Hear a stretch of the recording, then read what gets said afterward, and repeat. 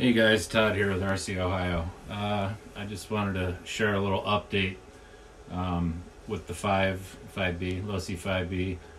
Um, today is a real nice day here, so uh, I had the opportunity to finish my break-in and do a little test and tuning.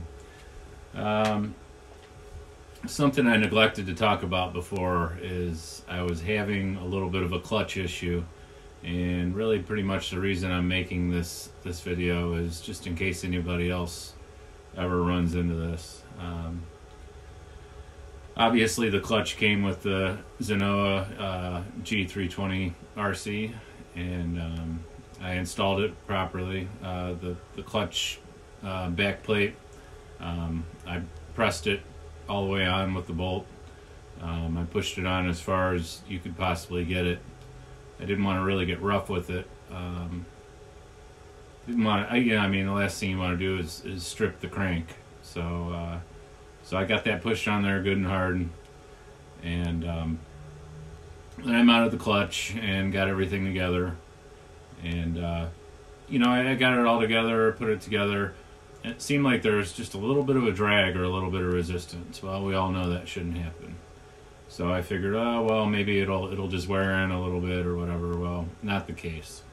So anyway, what um, what ended up happening, and it was real sporadic. Like I'd run it, and everything would free up, and then I'd run it up and down the road a couple times and bring it back, and it was hanging up.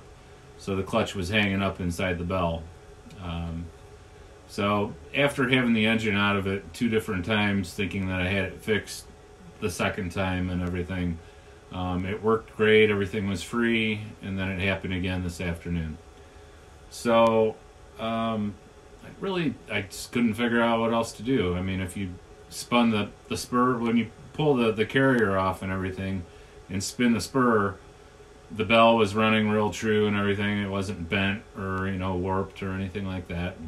And, uh, the, you could see the contact points on the shoes. They're grabbing just right and everything. And when you, when you pulled the bell off, um, you could look at the clutch and tell that it was completely um, disengaged or collapsed. The spring had it back into its normal position. But what I found was happening was the front of the shoes were touching um, here and there, and I don't know why, but the front of the shoes were touching the face of the clutch bell.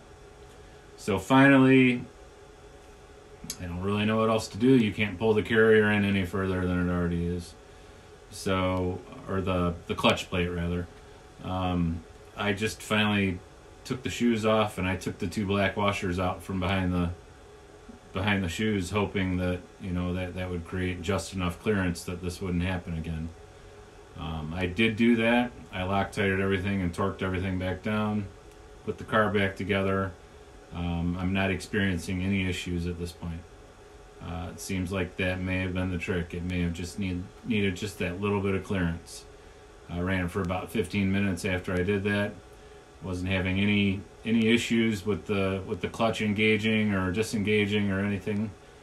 And uh, there's, you know, obviously there's no more rub on the front of the the uh, clutch bell. So um, just letting anybody I, I don't know if there's any other videos about this problem out there or anybody's experienced it but i just thought i'd share it. Um, i don't know that this is a permanent solution or whatever but i thought i'd give it a shot.